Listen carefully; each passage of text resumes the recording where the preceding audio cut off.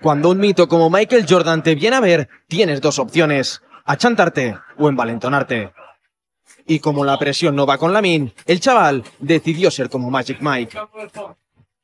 Ante los ojos de Jordan jugó como el 23, con personalidad, sin esconderse, ansioso por el balón,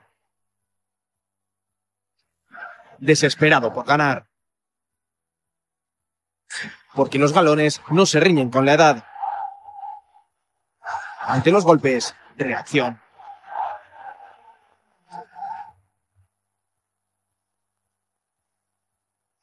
Porque Lamin solo quiere jugar. Y como le dejen, es decisivo como Jordan. En el patio de los grandes manda un niño de 17 años al que todavía le quedan lecciones por aprender.